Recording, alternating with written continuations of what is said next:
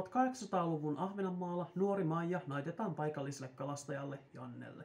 Suhde alkaa hyvin vaikeasti, Maijaa kun ei yhtään kiinnostaisi lähteä vieraan miehen matkaan.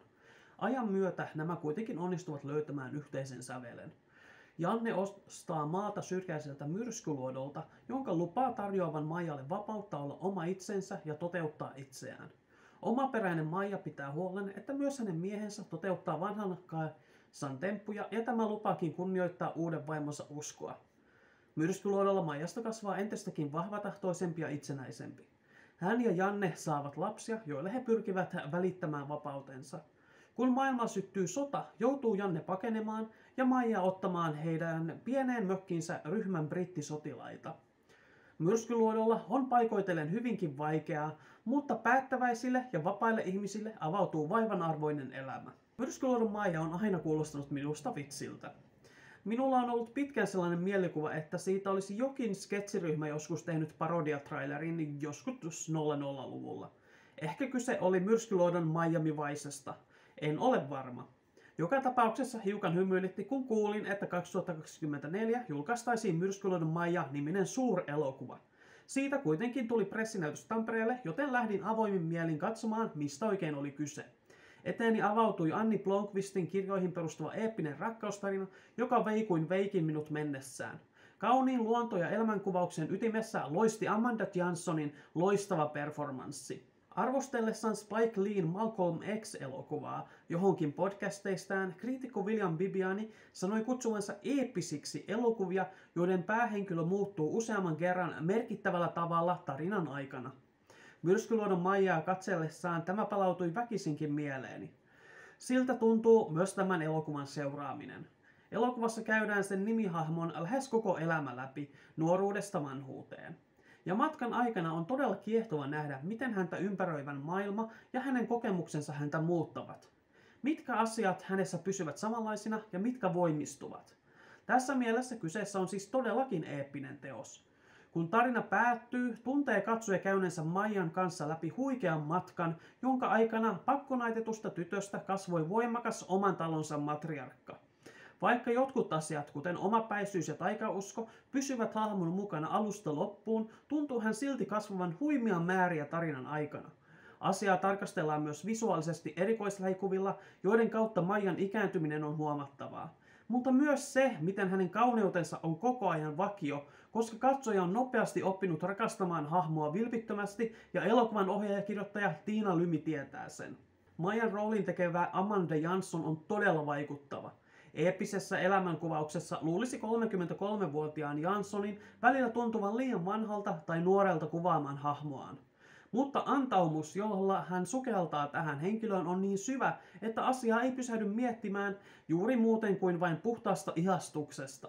Jansson muuttaa muotoaan tarinan aikana Maijan kasvun mukana, pitäen kuitenkin saman ytimen läsnä koko ajan. Hän päästää hienolla tavalla katsojat mukaansa hahmonsa emotionaaliselle matkalle, kuljettaen nämä läpi niin myrskyjen kuin tyynenkin, pitäen huolta, ettei immersio koskaan rikkoudu liiaksi. Kaksi tuntia ja kolme varttia ovat täysin Janssonin vallassa, ja hän kantaa tätä voimaa vastuullisesti koko teoksen ajan, poikkeamatta hetkeksikään polulta. Hän antaa huikean kokonaisvaltaisen kuvan hahmosta, joka tuntuu yhtä todelliselta kuin minkä tahansa elämänkerrallisen elokuvan päähenkilö. En ihmettelisi, vaikka joku erehtyisikin pitämään Myrskyluodon Maijaa oikeasti eläneenä henkilönä tämän elokuvan vuoksi. Myrskyluodon Maijan tapahtumat sijoittuvat 1800-luvulle. Tarkkoja vuosia ei kerrota, enkä itse tunne tarpeeksi historiaa niitä arvatakseni. En esimerkiksi tiedä milloin brittien laivasto saapui ilmeisesti Venäjää vastaan sotimaan. Mutta mikäli tarkat vuodet olisivat oleellisia, olisi Tiina Lyminen elokuvansa laittanut. Oleellista on, että ajankuvaus itsessään on onnistunutta ja maailma immersiivinen. Puvustus, arkkitehtuuri ja tavarat kaikki kanavoivat kaukaista aikakautta, jolla Maija perheineen eli.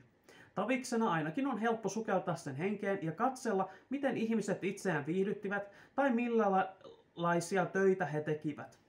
Luokkayhteiskunta on nähtävillä, kun Janne menee lainaamaan rahaa joltain porholta, ja misogynia on valloillaan, kun Maija ensin myydään vaimoksi ja sitten tämän tienaamat rahat annetaan Jannelle. Nämä yhteiskunnalliset ongelmat ovat vahvasti läsnä tarinassa, mutta eivät välttämättä sen pääaiheena.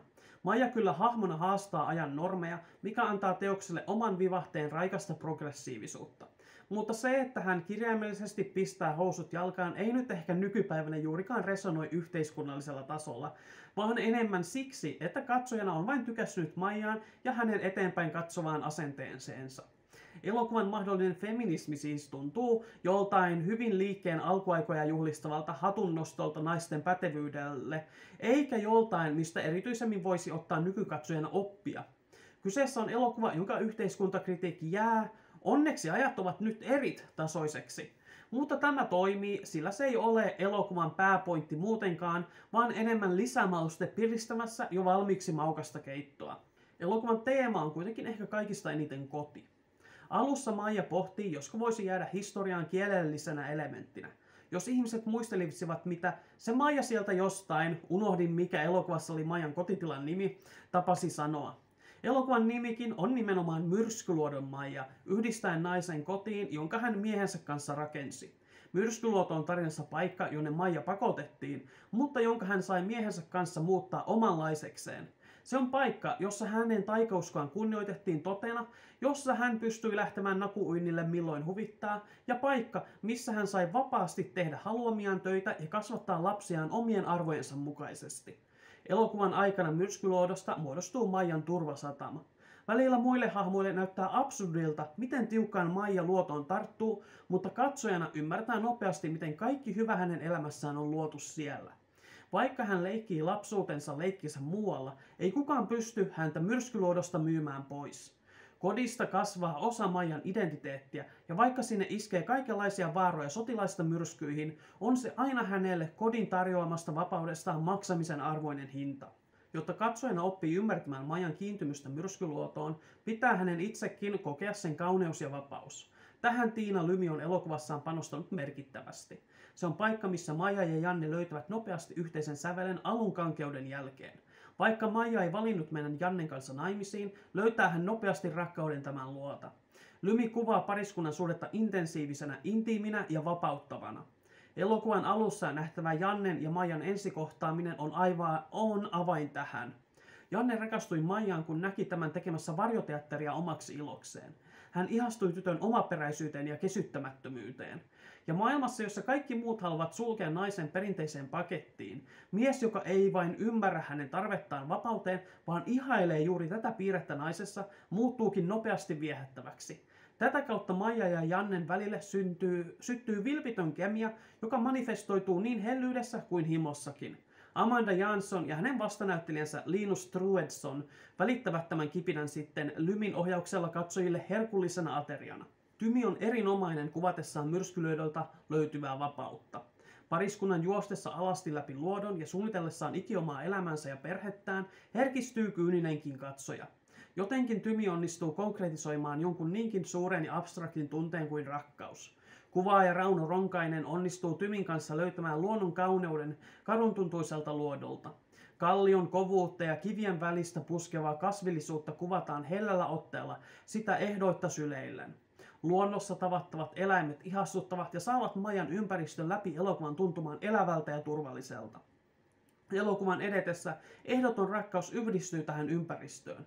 Myrskyluodalla tapahtuu myös traagisia menetyksiä, mutta Maija siitä huolimatta hyväksyy sen ja jää rakastamaan kotiin, äh, kotiinsa niin pitkäksi aikaa kuin vain voi. Kahden tunnin ja kolmen vartin elokuva toki tuntuu myös pitkältä, mutta se nyt ei ole juuri koskaan ongelma. Olisi oudompaa, jos moinen ei takamuksessa tuntuisi. Oleellista on se, että elokuva kessustaan huolimatta pitää katsojan mielenkiinnon yllä koko ajan. Tähän auttaa elokuvan jossain määrin episodinen rakenne. Kenties kirjasarjaa adaptoidessa tämä tulee hyvin luonnolliseksi tavaksi käsikirjoittaa elokuvaa.